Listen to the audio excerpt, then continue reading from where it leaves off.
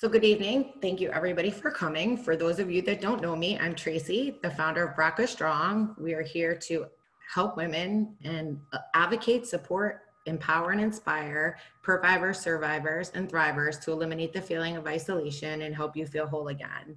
During COVID-19, we are sending out packages to women who are going in for mastectomies or are starting treatments. We would like to send you a care package. So if you or somebody you know in your family need this, please contact myself or Kate, one of our board members, to go ahead and get this shipped to you. We would like to thank Dr. Alexea for coming on today. I know personally, I'm super excited to learn more information about infectious disease because I know the time that I had to see an infectious disease doctor and was petrified out of my life and know that infections are scary to us. So I look forward to your presentation and ways to boost our immune system. I'm really honored to have you on this call tonight, not only as an infectious disease doctor, but somebody who's a survivor and has walked the walk, you know, with some of these other women and can relate and just show your strength and your power as I see it through Kate showed me your Instagram page and follow you and just watch your stories. We're super thankful and grateful to have you on here tonight. Thank you so much um, for the invite. I um, I'll tell you guys my story, but before I even get into it, um, what having breast cancer has shown to me is that I am here for more than just the folks that I take care of within the four, four walls of my office. And before I got sick, I was actually feeling um, not wholly dissatisfied with my life and my career. I just felt like this nudge to do something different. And I had it that, you know, I was supposed to help single moms who were going through and experiencing um, breakup or loss of their relationship, loss of their life as they had previously known it and mourning the life that they previously had. And then, boom, I got diagnosed with breast cancer. Um, and in many ways, being a physician has helped me through um, my breast cancer diagnosis and treatment. And I've just been super passionate and purposeful about sharing um, my, not only my patient experience, but just sharing the knowledge that I have as a physician um, to help women who are experiencing breast cancer and other cancers because there's a lot of overlap. But of course, as a breast cancer survivor, thriver, I'm partial to our community. So who am I? I'm Dr. Alexea. As was mentioned, I'm a triple board certified infectious disease physician. Um, I'm also a mom, a speaker, an author, and a coach, and breast cancer survivor thriver. So I was diagnosed with stage three invasive lobular carcinoma at the age of 37. My uh, the bulk of my cancer was in my right breast and in my right lymph nodes. Um, but when I had my mastectomy, they found that there was also breast cancer on the left side that had escaped imaging. So I am one of those people where if something can go wrong, it does go wrong. So my breast cancer was not picked up on a mammogram or a breast ultrasound. Um, even though my tumor was nine centimeters in size, my lymph nodes did not show up in any of my imaging, including the MRI that um, confirmed the presence of a mass before my biopsy confirmed that it was um, breast cancer. So I had nine out of my 15 lymph nodes that were positive for cancer, and there was n- nothing was picked up in my lymph nodes on imaging. Um, so my story is strange in that regard. And also, even in spite of being a healthcare provider and being taken care of by um, people within the healthcare system that I work for, there still were some things about my care that um, make me say, hmm. And so um, those things cause me to advocate for other women so that other women feel empowered to go advocate for themselves when they talk to healthcare providers. Um, one of the things that Wendy said is she trusts her healthcare providers, she trusts her team, and we all want people to trust their healthcare providers. Um, but we don't want there to be blind trust. So we need to have some level of awareness, even if we don't fully understand our diagnoses so that we can be empowered to do the things that we need to do to um, help ourselves along the way and to advocate um, and speak up when things don't feel right, don't seem right, or when we feel like we don't have sufficient answers or if we feel like we're being overlooked. So I um, when I was diagnosed two years ago, I underwent bilateral mastectomies. I had a right axillary lymph node dissection. I chose to undergo breast reconstruction. So I um, had stage reconstruction. So I had tissue expanders in place initially, went through my chemo, my radiation therapy, and then I think waited about six months before having my implant exchange. And actually, just on Monday, um, I, last week Monday, I had fat grafting um, because I was not satisfied with um, the outcome of my reconstructive surgery. So um, one thing I will say is don't be bashful like about um, undergoing other surgeries. You know, we don't necessarily want to go crazy about it, and we're not going to have our old bodies back. And there's a risk every time we undergo anesthesia. Um, but I was so bashful about saying to my plastic surgeon because I was worried about offending her or insulting her or something um, about saying outright, I'm not happy with this outcome and what else can we do? And she was like, Girl, you're not being vain. I'm, my feelings aren't hurt. And we're here to give you a body that you, you know, that you love and that you're comfortable seeing in the mirror. So um, I just underwent another surgery. And of course, as an infectious disease doctor and someone who treats surgical site infections, from the moment I found out that I had breast cancer and I was going to have to undergo major surgery and multiple surgeries, obviously infection was like always on my mind. And so um, I took steps to um, decrease the risk of getting surgical site infections, but I also took very many missteps, and I'll explain that along the way, like what I did that didn't work and what I did that did work, and what you guys can, what you guys can do um, when you are planning for surgery. Because even if we've had our diagnosis and we've had our primary surgery and treatment, sometimes we have to undergo other surgeries that are either directly related to our cancer and reconstruction or indirectly related to our cancer. And there's lots of helpful information along the way. Some of it is very specific to taking care of the skin and surgical site, and some of it is just specific to taking care of just our total health and wellness, which I'm a big proponent of um, wellness. So, when we talk about um, protecting ourselves from infection, one of the things that we want to do is try to live a lifestyle that shores up our immune system the way that we, you know, reach for the Emergen-C or start taking vitamin C and zinc and echinacea when we get exposed to an illness or infection, that's not going to cut it when we're planning for surgery. So we need to do things that help boost our immune system. So, what is our immune system? Well, actually, the first level of our immune system is our skin. It's our biggest organ and it's our primary um, means of protection from infection. And that's why surgery poses such a risk because you're cutting right through the very thing that protects all of your internal organs and structures. But our immune system is also made up of things like our white blood cells and antibodies and other factors that um, the immune system produces to help protect us from infections that it either recognizes or doesn't recognize. So, um, our immune system is to help fight infections, help prevent infections, um, but our immune system on a day to day basis is not only fighting outside threats, it's also fighting inside threats. So, specific to us as um, cancer patients or survivors or thrivers or previvors is our immune system actually on a day-to-day basis is always identifying cleaning up and engulfing cancer cells or cells that have malignant potential.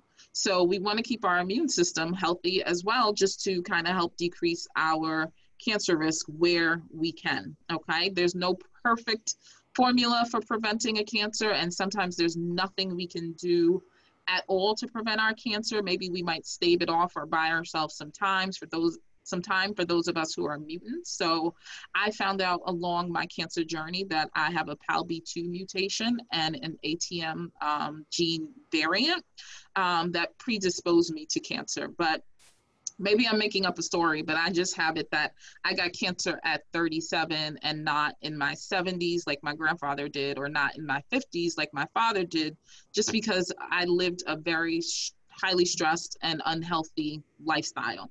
But that's just something I take on. I don't choose to say to other people that um, and I don't believe that I caused my cancer, but I just know that there's environmental factors that contribute. So um, I did a lot of things that suppress my immune system, and I'll point them out along the way. Um, and so I'm committed to just maintaining a life of total health and wellness. Um, and that includes just taking care of my physical body, taking care of myself emotionally and spiritually, um, and doing all the things that help that. And I'll explain and outline how all of those are beneficial. So there definitely will be information in here that you ladies are familiar with. So um, when we're talking about immune function and building up our natural defenses, we're talking about dietary lifestyle modifications that can strengthen our immune system or our immune function. So always on my list of things to do, regardless of what I'm doing, whether it's getting enough sleep, um, which I accidentally deleted my get enough sleep slide. So please know that I'm encouraging everybody to get enough rest if they're going in for surgery, but for just your life of total health and wellness in general. But all my things to do list is always to live a life that helps boost my immune function.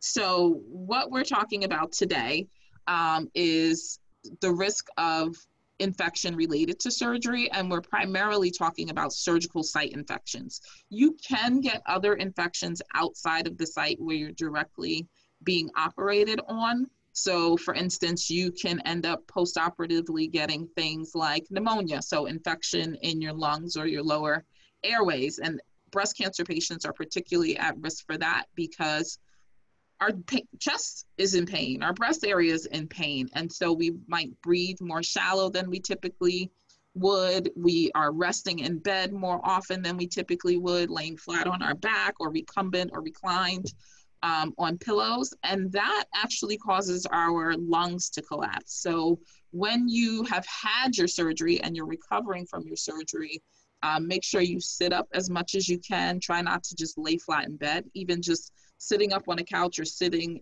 semi-recumbent in a recliner is better than laying flat on your back. And there's lots of um, products and pillows that are specifically made for women who've had breast surgery um, that can help manage that. Make sure you take deep breaths and you play with the little breathing toy they give you in the hospital.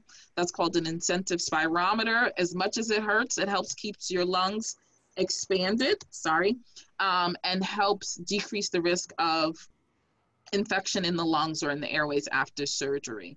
So um, surgeons always talk about wind, water, and wound infections is what they're worried about immediately after surgery. So your wind would be lung infections or pneumonias.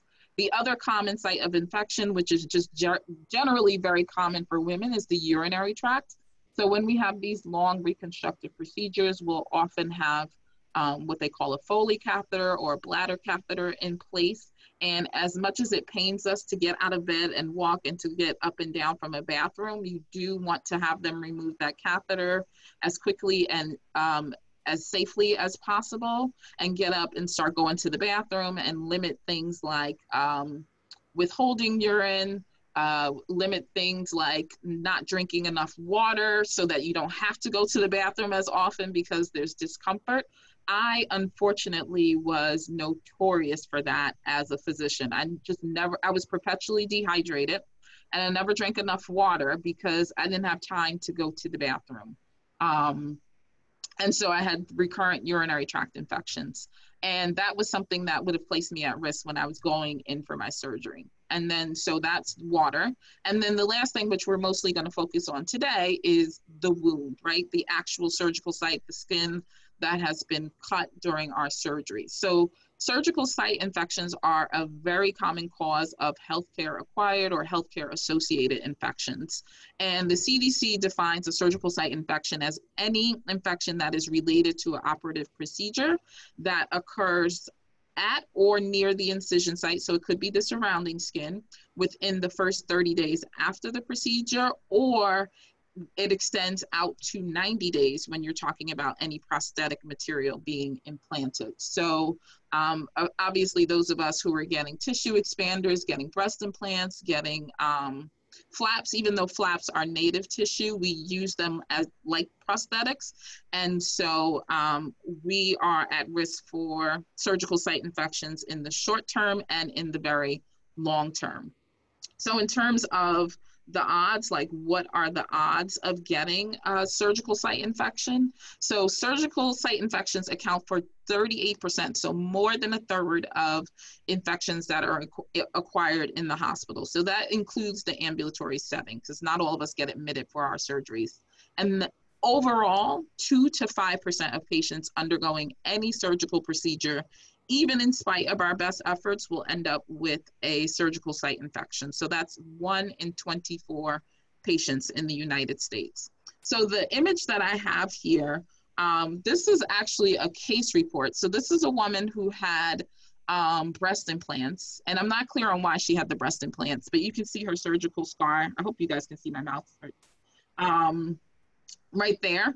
But she ended up with an implant infection because she got a nipple piercing. So, um, one of the things that we want to do even after our surgery is to continue to protect our surgical sites from infection by avoiding things like piercing. Um, many of us get tattoos, um, including nipple tattoos or just other um, tattoos to commemorate where our breasts were prior to surgery, um, or just to enhance or cover up our surgical scars and surgical sites.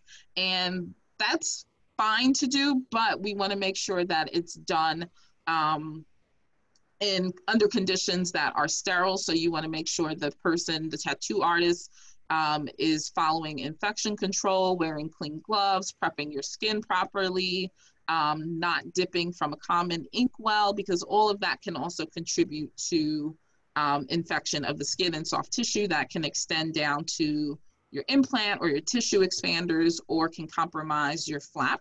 Um, and even if you chose not to reconstruct, if you went flat, you can still get skin and soft tissue infections um, and you can still complicate the surgical site. And the problem, the additional problem with infecting um, the surgical site is that the circulation is compromised because of the surgery. It may also be compromised if you have radiation there and increased scar tissue.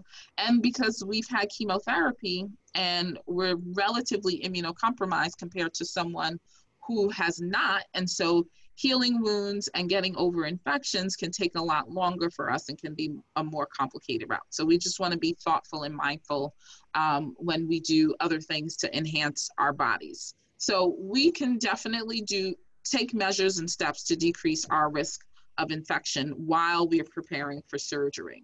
So if you're having an emergent surgery, which is pretty rare, um, unless you have like an inflammatory breast cancer or something that has to be operated on in days. Usually we have a couple of um, days, if not a couple of weeks, to prepare for our surgery.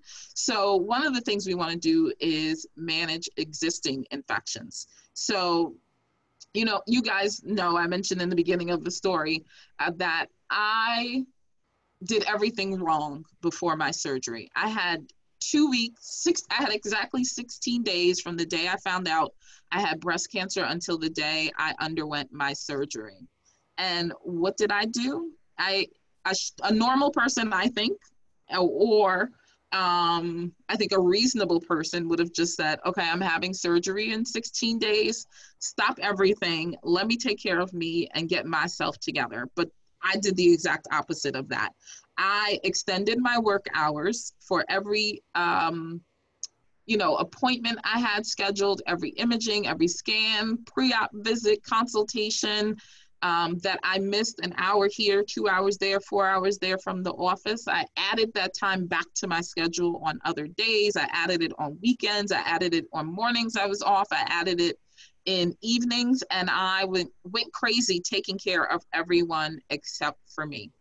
I ended up with the flu and an upper respiratory infection that I caught from one of my patients because I was so busy taking care of everyone else, I didn't take care of me.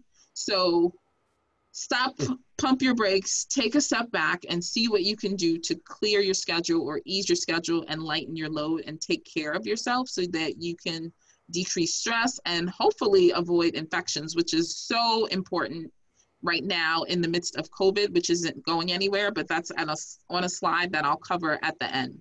Um, so manage existing infections. So now, because I caught, caught the flu, um, and I was having this surgery. I had to go on treatment for the flu. I had to go on steroids. I had to go on prophylactic antibiotics because my primary care doctor, knowing I was going into surgery in a week, had to do everything that she could to get rid of the active infection that I had, even though it was away from my surgical site, um, because I was having prosthetic material placed. We knew that it was likely that I was going to have tissue expanders put in place. So manage any existing infection and make sure the infection is done. Uh, one other thing that is super important is like, um, usually we tell people like, okay, it's just a cold, don't worry about it, it's not a big deal. When you're undergoing surgery and when you're having anesthesia, having a cold, even just your regular old cough and cold virus is a very big deal and you should never undergo anesthesia even if you have a minor respiratory tract infection. So manage infections make sure they're gone and um, and then make sure you're going into surgery clean and ready to go. So these are just pictures of me like during chemo and post chemo and i always share what i'm eating because I'm very clear that we should be eating and drinking to our health and wellness. Food is absolutely medicine, and there is a significant risk of surgical site infection in someone who is malnourished. And in the United States, we have a huge problem with malnutrition, and that's because our four food groups are uh, pizza, Chinese food, McDonald's, and any other prepackaged stuff we can get our hands on. We eat a lot of food in this country that is like chemical concoctions dressed up as food. And so, even though people may have a normal body weight or maybe overweight or obese, they can still be significantly malnourished if they're not eating whole foods. And malnutrition increases the risk of a surgical site infection sixfold. That's huge, huge, huge risk. So even if it's just you just found out that you had breast cancer and you don't yet know what's ahead of you, but you you know that there's a surgery in your future or that there's chemo or radiation in your future, the day you find out, you can decide to make a change in your diet. And I would say consider a plant based diet. And when I talk about plant based diet, I don't mean that you have to be a vegan, just that the vegetables, fresh vegetables on your plate should be the predominant the predominant um, part of your meal and that plants should be like the star of the show um, and there's just some examples of diets. So the reason why um, having a plant-based diet or having lots of um, plants and whole foods in your diet is important when you're undergoing surgery is because they're rich in nutrition. Um, they're high in antioxidants, which we know the importance of antioxidants for bust, busting up free radicals, which are basically the byproducts of our metabolism um, and processing of food and chemicals that we take in our body that we need to eliminate so that they don't damage our body, damage our cells, and age us prematurely. Um, whole foods and plant based diets are high in prebiotics. So, prebiotic foods are foods that help your gut bacteria thrive. And our gut is a huge part of our immune system. Um, and also plays a huge role in our mental health and wellness. So, if you have a healthy gut, you have a healthy immune system. They're high in vitamin C, and we know that vitamin C is a precursor for um, our immune cells, our white cells, and our immune function. And they're high in fiber, which is good for our gut health as well.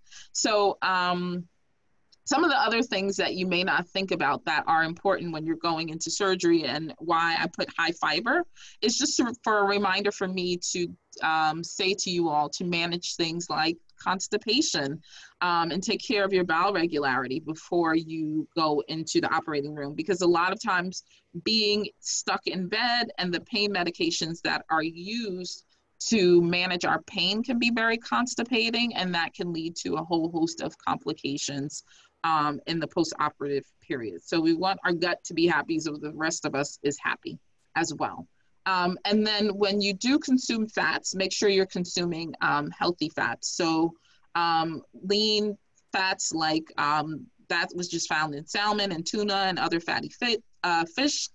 Um, plant-based fats like avocado and peanut butter, all of those are great for us. They're high in omega-3s, they're anti-inflammatory, and they help decrease our risk of diabetes and help improve our sugar control. And we'll talk about sugar, but not like in the way that will make you cringe, like when people tell cancer patients they're not allowed to have sugar.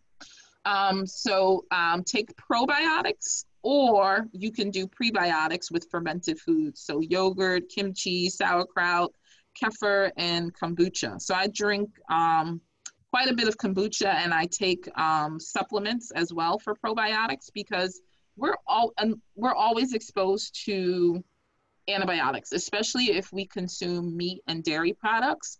Um, farm raised animals in this country are always exposed to antibiotics to keep them healthy so that diseases from the animals aren't passed on to us who are consuming them. So we always kind of have a little bit of antibiotic exposure on board, and that can disrupt our gut health. It can um, lead to increased risk of um, things like vaginal yeast infections, um, and just throw off our normal healthy flora. So probiotics or eat prebiotic foods.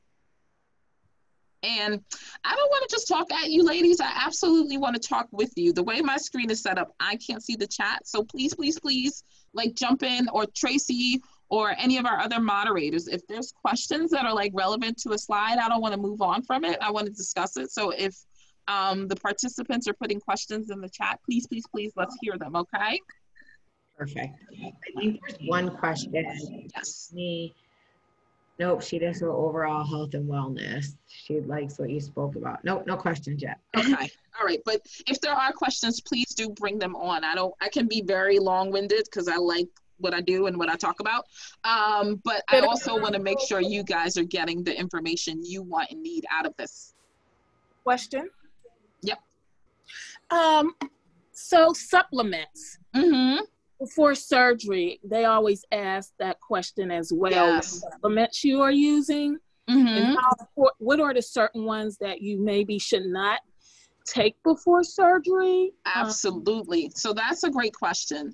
So in terms of supplements, um, if you go too high in omega 3s, like if you're taking them in a pill form or a capsule form, that can actually increase the risk of post operative bleeding and bruising.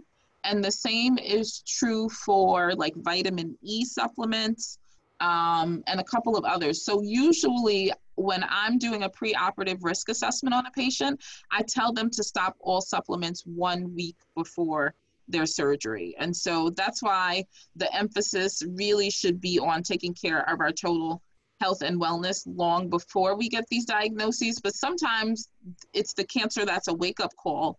Um, but we often have more than one surgery ahead of us. So even if we didn't get to make those changes the first time we find ourselves on an operating room table, at least we're empowered so that you know, maybe after the mastectomy or the lumpectomy, when we're going in for an implant exchange or we're going in for the second or third stage of our reconstruction, we're prepared for it. So um, we want to make long-term changes, and then you would stop your supplements one week prior to your surgery, so that you make sure you're not taking um, any supplement that increases the risk of bleeding or bruising before your procedure. So when you do see your doctor or your surgeon, even if you think um, it's not important that you're taking a supplement, please tell them everything you're taking. Your your ginkgo, your echinacea, your your Centrum multivitamin, whatever it is, your elderberry. Let them know,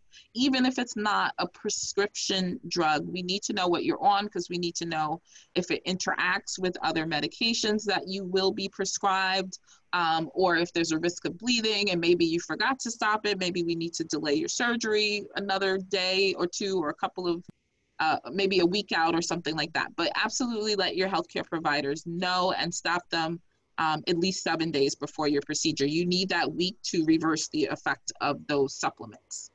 Um, so when we talk about sugar, I'm, I'm, not one of those folks who runs around telling people that um, cancer feed, cancer feeds on sugar. Um, but we know that sugar does have some um, long-term and short-term health implications when it's taken in excess and when we take in a lot of refined sugar or when we take in um, simple carbs so like uh, white bread and pasta white potatoes rice things like that that really quickly convert to sugar in our body, those increase the inflammation in our body. They lead to rapid weight gain. They're associated with heart disease and diabetes.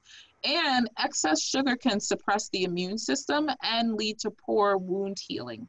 So, even in the days and weeks leading up to your surgery, you can cut your sugar and do things like um, exercise and change your diet such that it improves your blood sugar levels and helps improve your surgical outcomes by decreasing the risk of surgical site infection and decreasing the risk of poor wound healing. So, a couple questions I see. Ask away. First is what about the use of marijuana? Mm-hmm. And how about soy among among other allergies? How to avoid and navigate? And what about vitamin D and B? Okay. So um soy. What was the specific question on soy? How about soy among other things, allergies? Okay. How to avoid and navigate? Okay. So um you'll hear a lot of um mixed messaging about soy. Is soy okay? Is it bad? Is it neutral? Is it good for you? Um, my personal choice is to avoid soy because it's in everything. If you look at packaged foods, it kind of doesn't matter what it is. You will see that there is so much soy out there. Um, and so I try to limit it because I know I'm ingesting it at times when I do choose to eat packaged food or eat certain snacks or cakes or cookies. Um, I know that there's soy in that, so I personally choose to avoid soy. And the the messaging that I received from my oncologist was to limit it. I don't have to avoid it like the plague, but it's reasonable to avoid phytoestrogen or plant-based estrogens because they can um, contribute to um, hormonal exposure for those of us who have um, hormone receptor positive breast cancers. So I had um, ERPR positive or estrogen receptor and progesterone receptor positive breast cancer. And so I'm on hormonal suppressive therapy for 10 years as part of my cancer treatment. And so I personally, in my lifestyle, aim to decrease that. Um, hormone management is also important when you have surgery. So, for instance, I was on tamoxifen before I got diagnosed with cancer as a preventative. Um, and back then, I really wasn't cognizant of how much of a role diet and lifestyle played in risk of cancer. Um, so, I was advised to stop my tamoxifen because it was associated with an increased risk of cancer. So I stopped it two weeks before my surgery. So because it is it has um, estrogen modulating factors. So apart from supplements other medications that can increase the risk of other complications of our surgeries need to be um, talked about and need to be addressed with our um, oncologists and our surgeons. Um, so i hope that i answered that. Um, so i would say moderation or little soy um, I'm not someone who eats like tofu and things like that. Um, but it's just a personal choice. I don't think that there's an absolute right or wrong. I, I don't think that, you know, you, you have to do things my way or this person's way or that person's way. I think that you have to pick and choose the lifestyle that is most manageable for you when it comes to um, managing your um, health as it relates to your cancer diagnosis, managing your side effects if you have to go through chemo, um, managing your recovery with food and lifestyle after you undergo surgery, and the same would be true for radiation and life beyond cancer. Um, I, there's definitely a slide where I talk about supplements, so I'll get back into the vitamin D and the vitamin B. Then there's is taking Irish seed good for you? So many benefit, and is this something that could affect your treatment and or surgery? What was the Irish sea? Oh, Irish Sea moss. Yeah. Iris CMOS. So um, I personally don't know enough about sea moss to say how it would impact surgery. I know that it is very nutrient rich, rich and is very high in um, lots of minerals.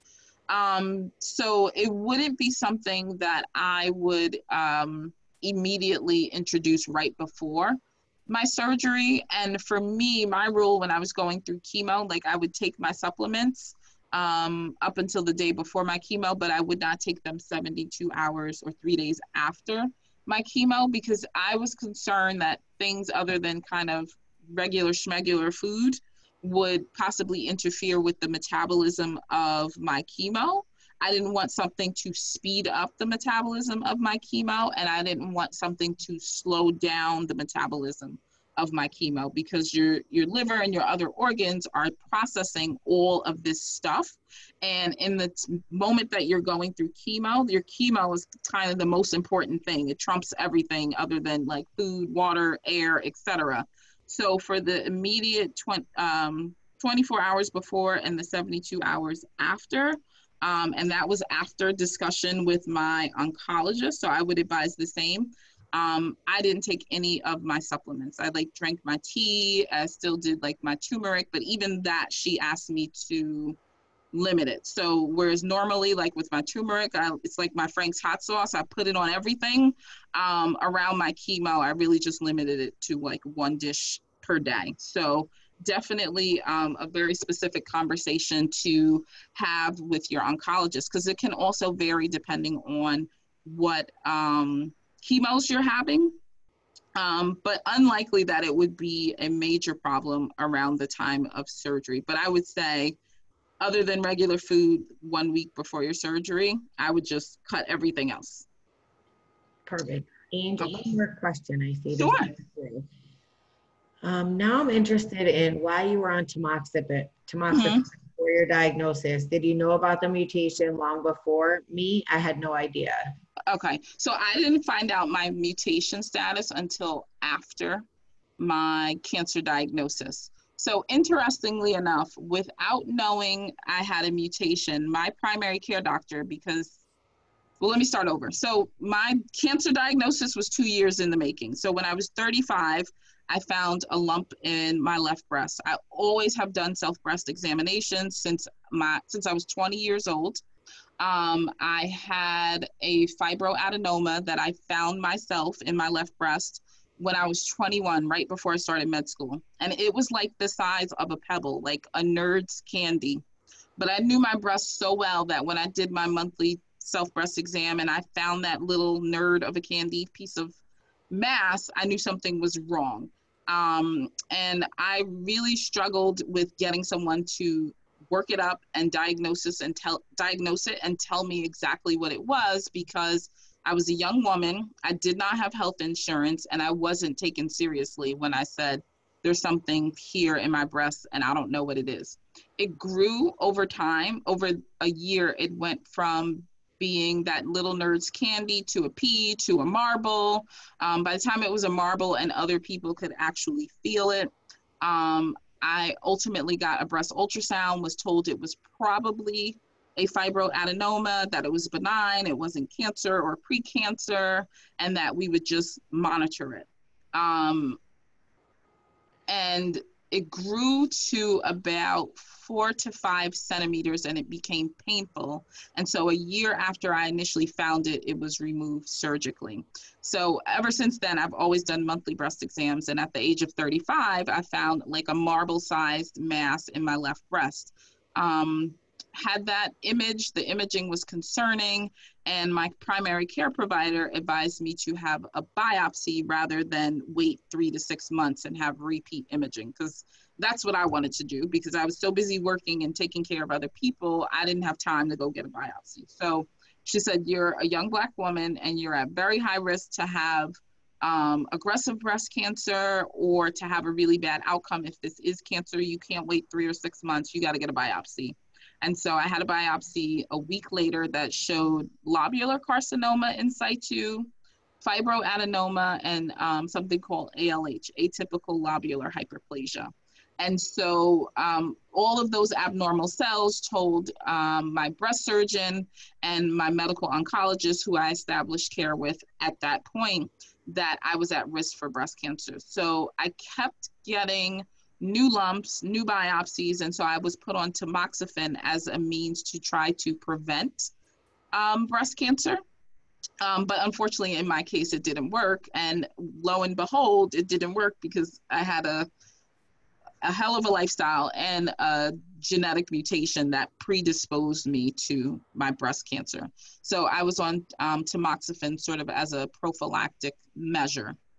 Um, so yeah, my story is crazy. It's all over the place. It just keeps on giving. so um, other things that we can do. So if anybody smokes and they're going into surgery, we always, always, always encourage them to quit smoking. Um, smoking is associated with an increased risk of surgical site infections and other infections, such as um, poor wound healing, breakdown of the wound, or what we call wound dehiscence. So the wound can just open up sometimes. And the reason that happens in smokers is because when we're actively smoking, um, our blood vessels shrink down, they become scarred and damaged. It decreases oxygen delivery to where we need it, and um, it impacts our blood pressure. Um, and it can also cause damage to the skin and premature um, aging and damage to cells. So when someone smokes, we encourage them to quit smoking before their surgery.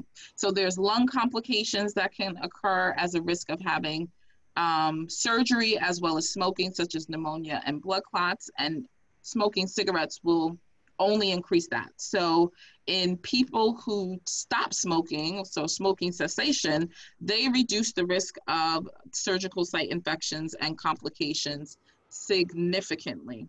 Oh, where'd my other slide go? Let's see. All right.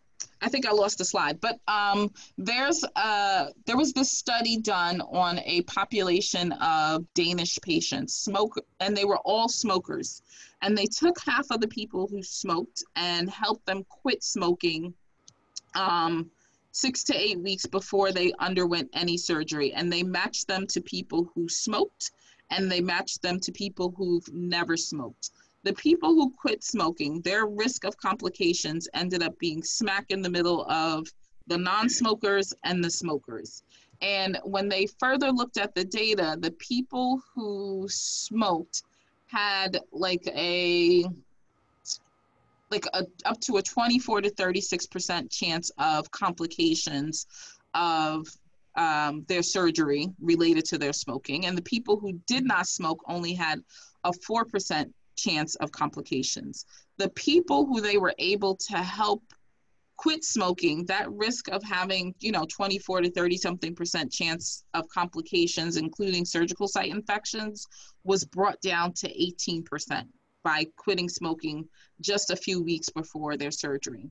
Sometimes we only have, you know, one or two weeks to prepare people for surgery. And even in that short time frame, we still will encourage patients to quit smoking because we know that there are short term and long term benefits. Um, so quit smoking if you do, okay?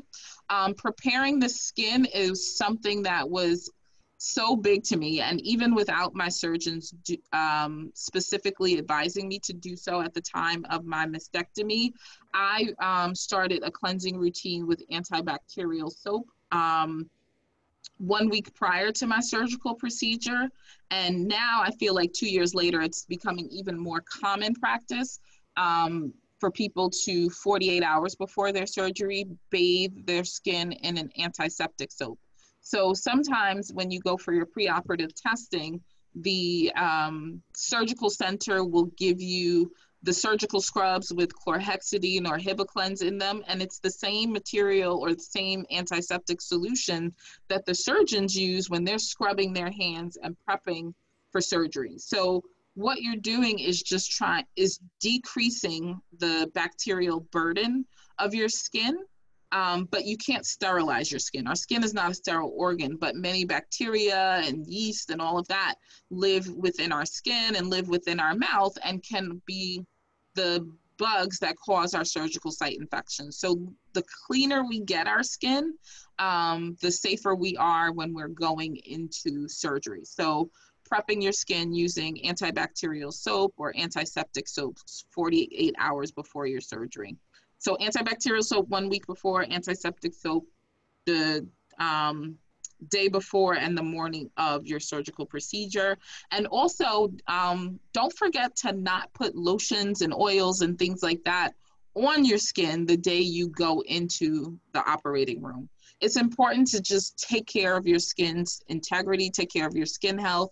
So, hydrate, moisturize your skin um, so that your skin is nice and plump and healthy before you go into the OR, but no lotion or you know, oil or any of those things that we bathe and love our skin with on the morning of our, our surgery. And then um, when we're preparing for surgery, please, please, please don't shave your skin. Um, a lot of times, you know, we get all bashful. We, we want to be beautiful going into the operating room. We're worried about who sees us, who sees us looking what kind of way. We don't want to appear that we're unkept and we don't take care of ourselves. So we get all excited, like how we prepare for our pap smears, and the doctors don't really care what we have going on down there. Um, and so some people may think, oh, I'm having breast surgery. I'm not going to be able to shave after my surgery. Um, they're going to do lymph node dissection. So let me shave and clean things up. But if if you're doing hair removal, then use clippers or use like a nair or another depilatory agent and do that days before your surgery. Do not shave with a razor prior to your surgery because even if you don't have a gross cut in your skin, even just micro cuts and micro injury that can occur from the blades um, can set you up for surgical site infections, as well as if you are someone who buys those seven, eight, ten dollar blades and you reuse them, they will be coated in skin bacteria, and you're reapplying that bacteria to the skin that you're now going to have surgery on. So do not shave your surgical site. Um, and my rule for um, razors is just buy like the cheap pack at the dollar store and let it be one and done. So preoperative hair removal can be associated with um, increased risk of surgical site infections if you do it incorrectly. Um, I keep, keep, keep, keep on mentioning total health and wellness. Um, so prehab, right? You can help prepare your body for surgery even if you didn't exercise a day in your life before your surgery. So, you know, you don't have to go to the gym and throw around the heavy bag or do deadlifts, but you can do simple aerobic exercise like jogging, biking, walking briskly, um, or doing like uh, what we call HIIT exercises. So high, um, high intensity interval uh, workouts because that improves your immunity. It decreases systemic inflammation. Um, it improves the regeneration of your immune cells. It helps strengthen your body. It'll help open up your lungs. It'll improve your breathing and it'll just improve your general health and wellness as you're planning to go on the operating room table.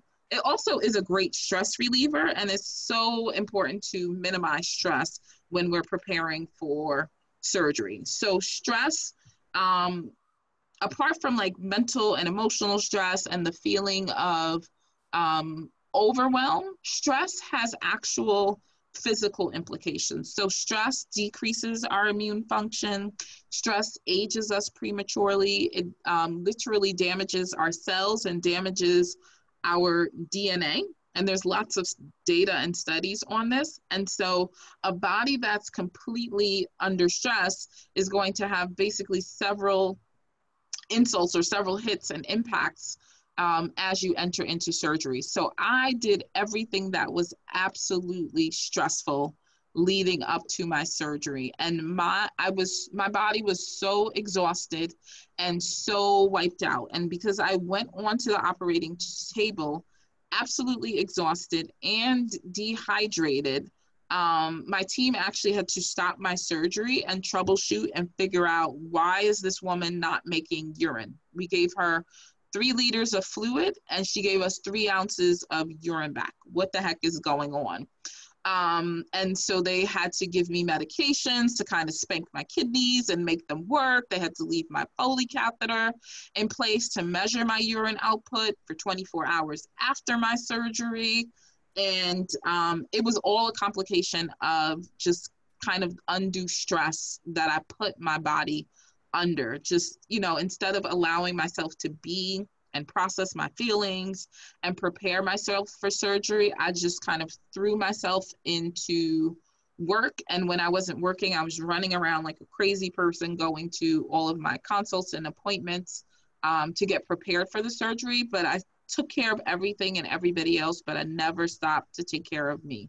So, stress reduction needs to be a part of your short term and your long term game plan when you're undergoing surgery, as well as when you're undergoing um, cancer treatment, and just should be a part of your lifestyle moving forward. So, things that you can do to eliminate or alleviate stress, meditation, journaling, um, exercise, um, meditation. And if you don't know how to meditate, then certainly check out some guided meditation. There's lots of free apps that you can do for um, that you can use to learn how to meditate and alleviate stress and help work out your brain uh, chaos help alleviate stress and overwhelm and put your body at ease and prepare yourself for going into surgery. And then, of course, right now we are in the face of COVID. And so, um, my plea is that we, in, in addition to doing all of the things that I just mentioned, that we take other steps and precautions to stay healthy. So avoid COVID, but as well as all avoid all other germs that we possibly can and avoid other folks who are sick. So, right now, the world is opening up around us. And um, as part of the phase reopening of the country, you know, things that are more high risk are opening up later. So things like public gyms, for instance, will open later on. So even though I mentioned exercising to take care of your total health and wellness, please do it at home. Please do outdoor exercise. Now, like the two weeks before your surgery is not the time to go get a gym membership because germs, uh, yeah, germs live in the gym. Um, there's lots of bacteria, viruses, and even um, fungus and yeast. So things like um, ringworm, people pick up at the gym, people pick up herpes, skin infections at the gym, people pick up staph and MRSA or MRSA at the gym and other bacteria because these are bugs and infections that live on our skin. Um, and we're laying on gym equipment, we're touching it with our hands, um, we're sweating, we're wiping our sweat, we throw our towel on things, pick it up, wipe our face. And so it's very easy to pick up germs and infections at um, a public gym or other commonly used public places. Um, other things that I would avoid if I was going into surgery would be things like hot tubs and saunas, and they should be avoided immediately post-operative because there's lots of bacteria that um, live and thrive in those kinds of environments. Same thing is true for swimming pools. Um, lots of germs and bacteria that can thrive in those environments. So um, in the two weeks before your surgery and even um, the several weeks after, and your surgeon will give you hard, fast rules about how long to avoid those activities and those places and spaces. You need to do that before surgery and after surgery. So, as it relates specifically to COVID, I cannot say this enough. Please, please, please continue to remain vigilant. Um, please continue to wear your mask. Please continue to practice good hand hygiene please continue to socially distance and keep yourself safe from other folks who may be sick, regardless if they have symptoms or not, because COVID is not something that you want complicating your um, post-operative period and it's not an infection that you want to have delay your surgery so when i went in for my fat grafting um, last week, Monday. On Friday, I had to have a COVID nasal swab to make sure that I didn't have COVID and I wasn't going to bring it into the surgical center and expose um, the team of physicians and physicians' assistants and nurses and surgical techs and all of the folks who were going to be taking care of me in the operating room. Because if I took out my surgical team, then that means how many other women and men aren't going to get the surgery that they need for the two, four, six, or eight weeks that it takes for my team to recover and how long would it take for me to rid myself of the virus and how long would that delay my surgical procedure so we don't want to delay our necessary treatments and we don't want to complicate them one of the things we know about covid now is that it causes an increased risk for clotting um, and surgery and cancer also increase the risk of having clotting events. So blood clots in the legs or clots that um, can travel to the lungs, what we call PEs or pulmonary embolism. These are things we're always concerned about, as well as infection. And COVID really dramatically increases that risk. So I actually had um, a patient who came to see me a couple of weeks ago for a skin infection in her leg, and she was a breast cancer survivor, and she had previously had COVID. And I said to her, You got to get ruled out for a clot. And she's like, But I was already ruled out for a clot. And I'm like, Well, I get that, but clots can develop at any time. And I'm concerned that you have more than infection. I think you have a blood clot. And not only did she have a blood clot, she had blood clots throughout the entire venous system in her affected leg. And when she said well you know why do i have a clot in general? But and also like why is it so bad? I thought you get them in like one spot not your whole leg. And i had to say to her it is because of the your history of cancer and your covid on top of that. So we want to be vigilant to avoid that particular virus so um, somebody asked about supplements. So vitamin um, d vitamin D is so vital to our general health and well being. It's important for our heart health, it's important for our immune function, it's important for our bone health, which is um, grossly impacted by um, our cancer treatments to suppress our hormones. We begin to lose bone, and so we have to have adequate vitamin D stores and calcium supplementation to help maintain and improve our bone health and prevent bone loss. Vitamin C and zinc are very important for um, building our immune system as well as building our um, white blood cells that are a major part of our immune system. And someone inquired about vitamin B. So, vitamin B12, folate, folic acid, um, those are, are those are also very important to improving our immune function as well as producing um, white blood cells. So absolutely, those are good supplements to take. But you want to make sure you don't overdose because you can have too much of a good thing. And I hear a question. Yes, two questions. Absolutely. One, um, Judy had surgery a week ago and mm-hmm. there was a drain in, and she said, "Can she asked one of her drains isn't working. Mm-hmm. So how do you think it's open? Do you think it's open to an infection? She said one of them's just not um, clearing out and it's, mm-hmm. it's coming out the side instead of through the drain. She is going in for surgery tomorrow. Okay. So when um, we have surgical drains in place, um, they can stop functioning for another number of reasons. So either just the seal is broken, um, which that's what it sounds like. If fluid is draining from the skin and not um, being pulled out into the tube, it could be um, because the it's not a closed vacuum system anymore. Um, and so you're not getting the suction you get from the little bulb. Sometimes the tubing itself can get clogged, so it can get clogged from um, the bloody fluid, might just clog the drain, um, or tissue can get into it and clog the drain. And if it's infected, you should see some signs of infection. So redness surrounding the skin where the drain enters the site, swelling, increasing pain, although it's hard to imagine that those things could get any more painful than they already are because mine were horrible. Um, or you could actually see frank pus draining from the site.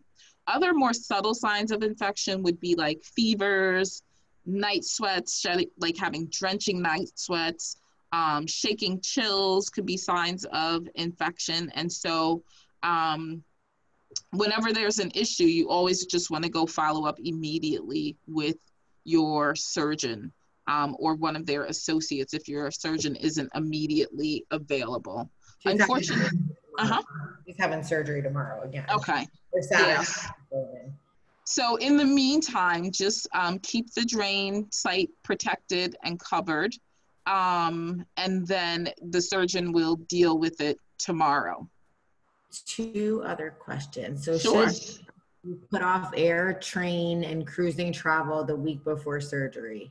absolutely. So pre COVID, um, I might have been tempted to tell someone, you know, go do something fun or take um, a vacation. And I, I think you can still do like a staycation before your surgery. You can still do things that are um, fun and relaxing to take your mind off your surgery, as well as to kind of treat yourself before you go into recovery mode and you're stuck at home for several weeks and your life revolves around doctor's appointments. But uh, right now, in the day and age of COVID, I absolutely would not get on a cruise ship and I would be um, really, really, really, really, really extremely hesitant to get on an airplane, even with a mask and other measures. I would, you know, do a short road trip or do some sort of staycation where you plan a bunch of fun activities, but I would try to avoid travel and avoid crowds as much as you can right now,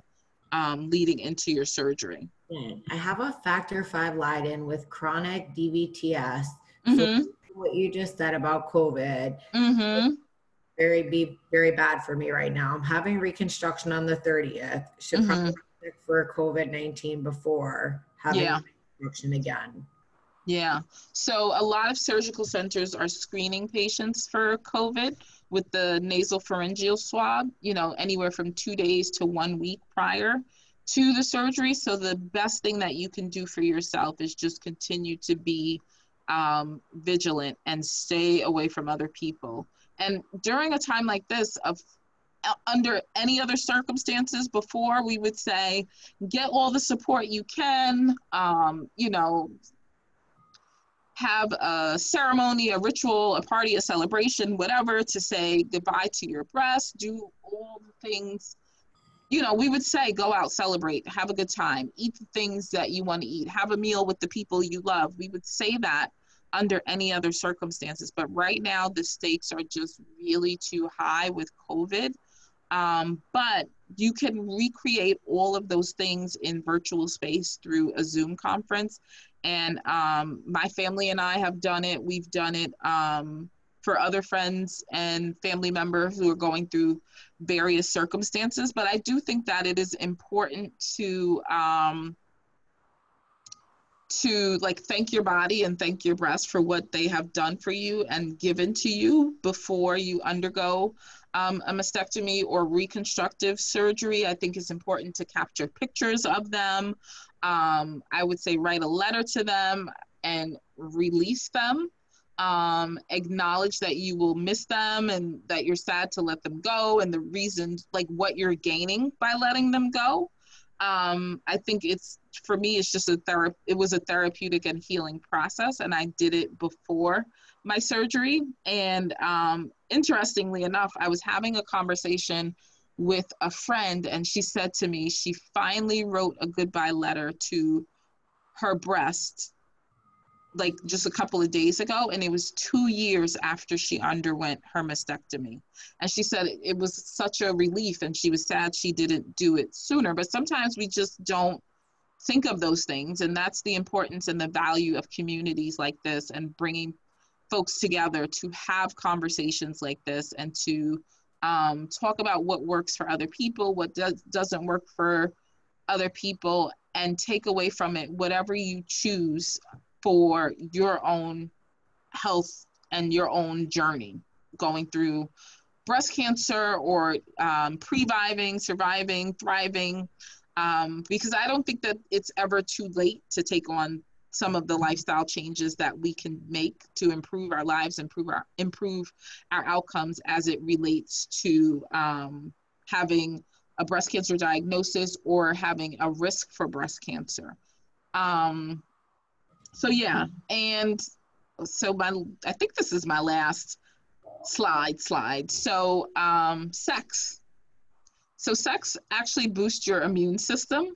And um, without being too graphic, I, I remember before I had my mastectomy and talking about undergoing reconstruction, my dad was like, Well, why do you have to reconstruct? Why don't you just go flat? Like, you don't have to have extra surgery you know, unnecessarily. It's more time on the operating room table. And he's like, you, you know, Kennedy, my daughter, she was six at the time. He's like, she's six, you're not having more babies. Like, what do you do with your breast anyway?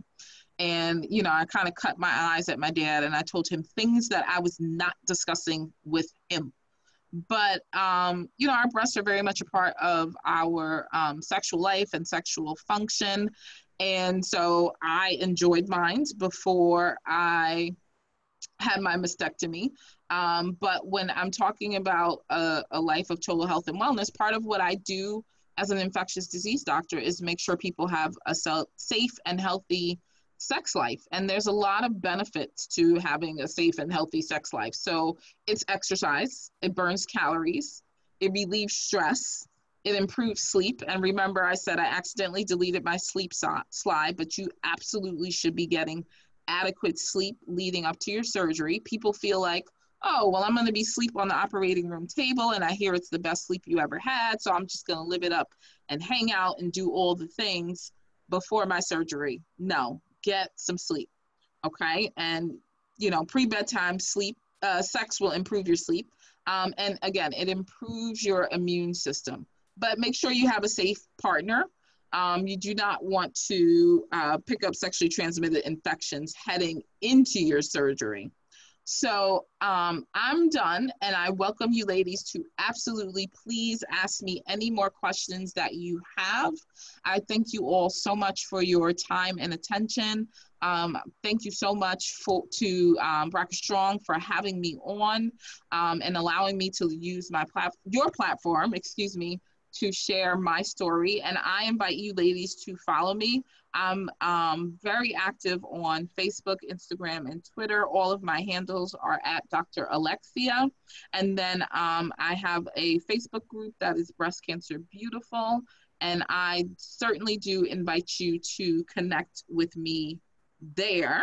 And I'm going to take down this screen and I would love to hear if you ladies have any other um, questions that I can answer, or if you have any questions about my experience as a breast cancer patient um, who happens to be a physician.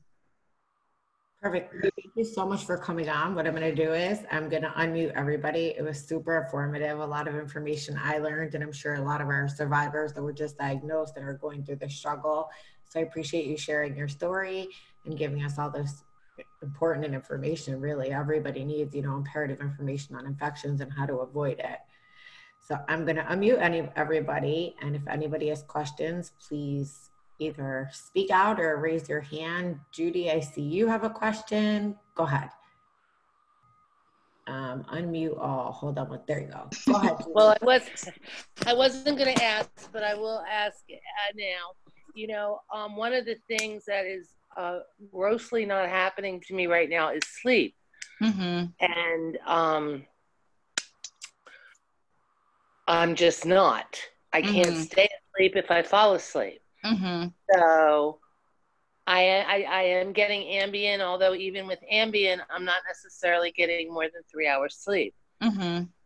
It's always been an issue for me. It's gotten worse now, but so I know it's important, but yeah, sometimes it can be truly challenging to get sleep, and a lot of folks are very sleep deprived. Um, and I, a lot of our problems with sleep is all this technology. So uh, your phone shines blue light into your eyes, and it tricks, it confuses your brain. Your brain thinks it's daylight all the time. So, um, one of the things to do is to put down your cell phone, iPad, laptop, tablet, all of the things um, a few hours before you go to sleep. And I know that's really hard to do because in our boredom and frustration with not being able to sleep, what we'll often do is reach right over on the nightstand and pick up the phone and start, you know, swiping and the light shining through is very problematic. It disrupts your circadian rhythm. So we're all walking around with a grossly disrupted circadian rhythm. Um, the other thing I tell people is that your bed is only for sleep and sex. Nothing else should be happening in your bed because again, it confuses your brain and your if you sit in your bed and you know, work on a laptop or on your phone, your brain thinks, oh, okay, we're in the bed office now and we're supposed to be up processing information and reading and all of this stuff. So you have to start shutting your brain off um, a minimum of an hour, but sometimes two hours before it's time to go to sleep. Um, some people sleep better if they have if they do exercise. I'm one of those people. If I exercise, I sleep like a champ. But some people, when they exercise, their endorphins get going and they're like wired and they can't sleep. So you kind of have to know what kind of person you are as far as exercise goes. And you have to take steps to shut your brain off. So if you're someone who's like an overthinker and you lay down in bed and you start thinking about all the things you didn't get done during the day, all the things you're going to do tomorrow, then it can be helpful to do like a brain dump before you get ready to go to bed. So, um, one of the ways I deal with overwhelm is just like writing out my schedule, what I'm going to do the next day. That way, I'm not trying to remember what I have to do the next day. Um, and in our lives, with a ton of doctor's appointments and physical therapy and remembering to take meds, it's very easy to get into that brain rut of I'm going down. Let me plan my day for tomorrow. Don't do that in bed. Like do a brain dump in a journal or a planner. And the same thing is true for like your emotions. Like if you're someone who um, when you lay in bed, your mind races and wanders and you start going through all the feels, then meditating and or journaling before bedtime may be helpful for you. And then um, you know, try to go to bed at the same exact time every day, but don't physically get into the bed until you feel drowsy because when you lay in the bed wide awake, that frustration and the anxiety of not falling asleep will actually keep you up even more. It's like this awful self fulfilling process of not getting any sleep. And then um, have like a very set bedtime routine that you do um, ritually so your brain knows it's time to go to sleep. So when I am ready to go to sleep, um, I will have a cup of tea, usually up in my bedroom, and it's um, decaffeinated tea always. Usually I'll do um, like a chamomile tea. You can do lavender tea if that works for you. If I'm like very wound up and I had a terrible day, I'll take um, a bath with um, like lavender in the um, bath salts that I use. You can use magnesium as a supplement to help induce sleep and you can use um, like melatonin, which you can purchase over the counter as a supplement to help induce sleep. Um, but start slow with the melatonin and gradually increase the dose um, because it can make you groggy in the morning if you take too much of it and you don't know how you're going to respond to it. So start low and then gradually increase the dose. But there's no magic bullet for um, helping to improve sleep but our lifestyles are so um, anti-sleep. You know in america we pride ourselves